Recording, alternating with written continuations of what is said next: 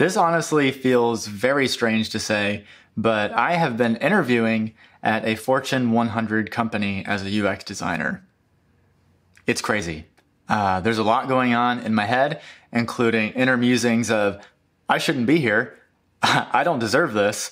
And all the while, I'm just trying to get through this process uh, with my head above water. If you followed any of my recent videos, then you know that I'm sending out 160 applications per month, which is what my UX bootcamp recommends in order to get a job. And so with sending that many applications, I have gotten piles and piles of rejections just floating around in my email. I don't really read any of them other than to see if it's a rejection email. But after seeing piles of them, it made me start to think, do I need to re- uh, revise my portfolios? Do I need to make my case studies better? And so I've been weighing around doing that.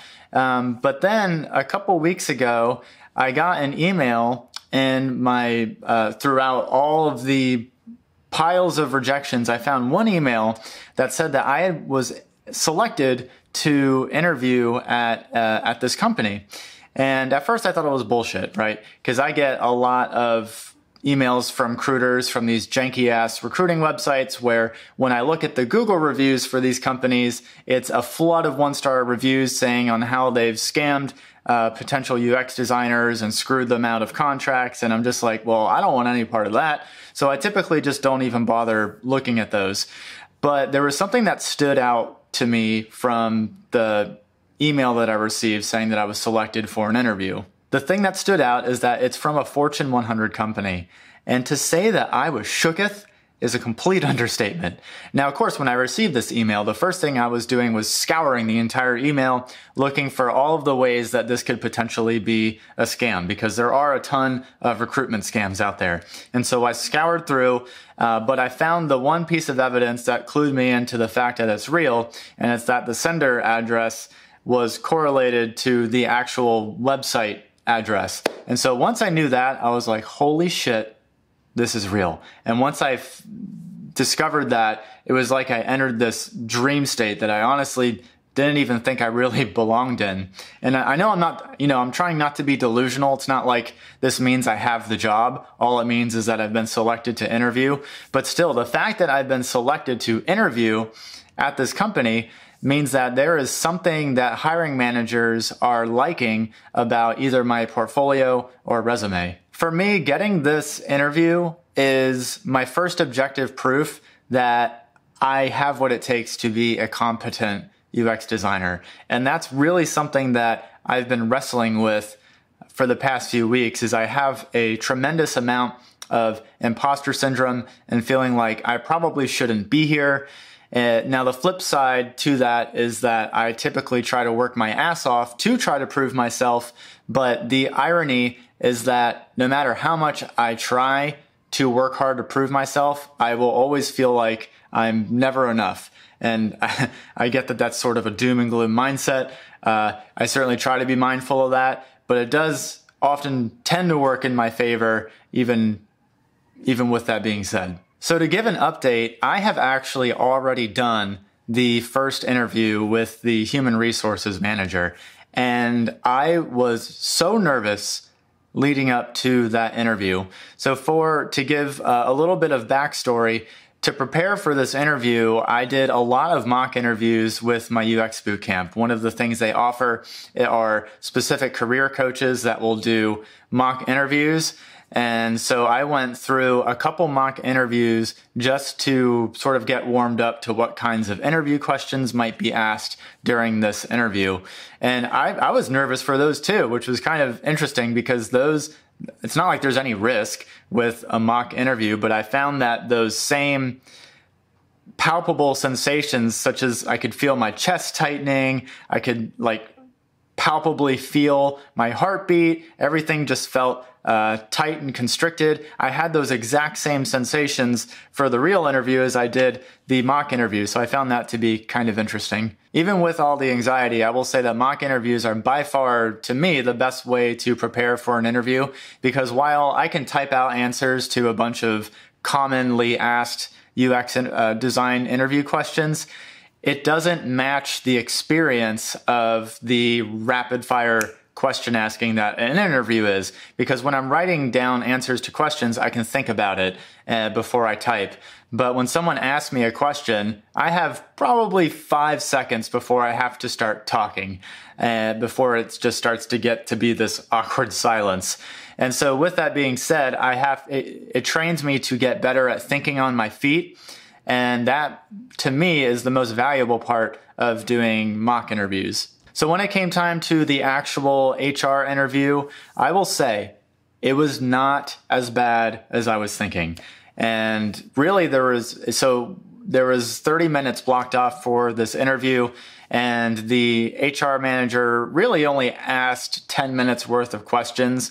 And so some of the questions that she asked were why I wanted to work at this company, uh, what was my experience like in my current UX role, and something about how do I build trust with the members of a design team as well as the overall product team when doing short sprints? That question was kind of an odd one, um, but I basically just answered uh, saying that frequent communication is the best way to tackle that sort of a subject. Obviously, my answer was a little more in depth, but that's in a nutshell what I responded with. And then after the 10 minutes of questions, it was really her going over uh, what the role entailed, why they're looking for the role. And so in this, in this scenario, it's, uh, it's not someone leaving the position, but it's an entirely brand new role.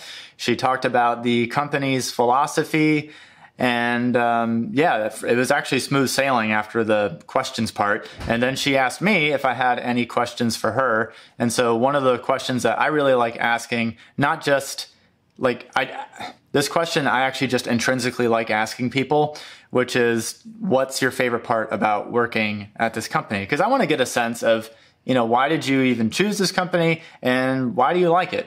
Um, I just think it's really neat to hear people's response to that. Uh, but other than that, I asked about salary expectations, and then she flipped that question back on me, saying, "Oh, well, what do you expect to earn?"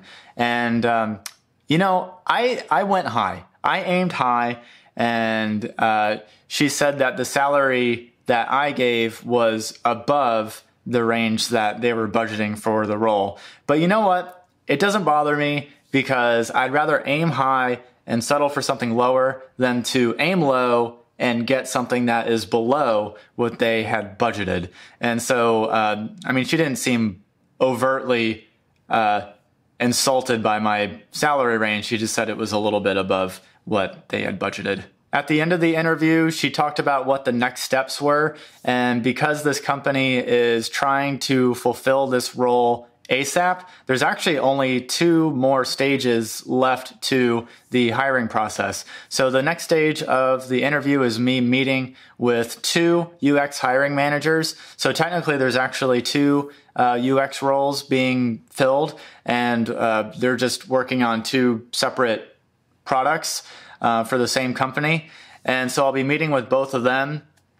And uh, it's blocked for a 45 minute interview. Now, I don't know if this is just sort of a chat where I'm answering questions about things or if it's going to be a portfolio walkthrough. I don't really know what it's going to entail, but I've been doing mock interviews doing both. So I've been doing portfolio walkthroughs as well as just um, the typical interview question practice. And so I have that coming up this coming week. And then once I do that, if I get selected to move to the next stage and final stage, actually, I don't know who I'll be meeting with. I think it's maybe some sort of VP. Don't really know. But uh, supposedly there's just two more stages. And then if I'm selected, then the offer will be um, presented to me. I will say, I'm trying not to be falsely optimistic about this opportunity because I know that they're probably interviewing a lot of other candidates, but I will say that I'm just grateful to have been selected to even get this far because to me, that just shows that there is something about my experience that people are interested in. And just by having that, uh, just by having that validation, it makes me realize that, you know what? Maybe I am a competent UX designer and I'm a hireable UX designer. And just knowing that gives me that p- little piece of evidence that I find useful to try to uh, minimize the imposter syndrome that I have. And you know, even if I don't get selected for this role, yeah, I mean, it'll be disappointing, but I think that there's always something that I can take with me in terms of what do I learn, what did I learn from this experience and how can I potentially better myself. And so if I don't get selected, I'll probably end up asking, you know, what was it that you felt like was lacking? Or I might even ask that in the interview if there's anything that they're apprehensive about me, uh, if there's anything they're apprehensive about me being a candidate for. And I think just knowing that will just help me to grow.